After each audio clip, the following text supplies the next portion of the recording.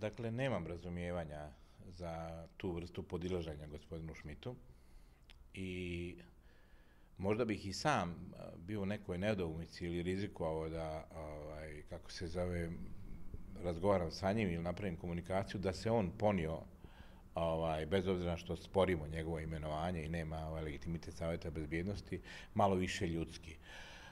Dolazak u Sarajevo, pa posjeta kazanima, a koje nisu hteli da posjete porodice pobijenih na tom mjestu, i učestvovanje zajedno sa federalnim političarima u ponižavanju po srpskih porodica na kazanima, kojima piše da su to građani Sarajeva, ne piše da su srpske žrtve, a na vječnici piše da su srpski zločinci zapalni vječnici. Znači, u takvom Sarajevu je on odmah odabrao stranu.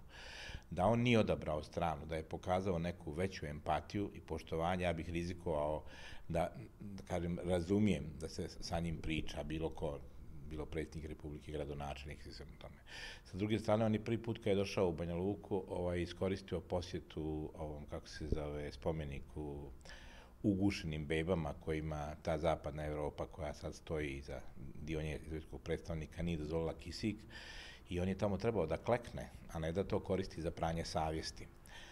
Uh, ja zbog toga ne mogu da razumijem te poteze. Ja mogu da razumijem neku potrebu da kako bih rekao, komuniciramo sa ljudima koji imaju podršku Evropske unije. Bio sam u srpskoj delegaciji u Briselu, ali mislim da ta komunikacija treba da bude predstavnička komunikacija, da mi predstavljamo institucije Republike Srpske. Ja ne sporim i da Narodna skupština može da promeni svoje mišljenje da kaže ajde možemo da pričamo sa Šmitom, ali ona to nije učinila. I nelogično je da neko ko je beskrupulozno prekršio odluke Narodne skupštine, objašnjava da je to u interesu Republike Srpske. U interesu Republike Srpske je ono što donesu njeni oficijalni predstavnici, koji su dobili najveći broj glasova, i ono što kažu njene institucije. Sve drugo su pojedinačne, da kažemo, iluzije, pojedinačna potreba da se nekome dodvoriš, a činjenica je da što se tiče stava prema institucijama Republike Srpske, stava prema imovini, da mi nismo vidjeli neke pozitivne signale od gospodina Šmita. I da njega trenutno pola Bosne i Hercegovine priznaje za viškog predstavnika, da ga ne priznaje, da kažemo, ni hrvatski ovaj predsjednik, ali to što se on sastajao sa patrijarhom i sa gospodinom Vučićem, to je znak da oni žele da smanje štetu koju on može da napravi. To nije znak da svaki, da kažemo, čovjek koji na nekoj funkciji treba da pohrli i sa jednim, da kažemo, oduševljenjem svakom strancu koji je ovdje došao da, da ponizi i sebe institucije koje čini.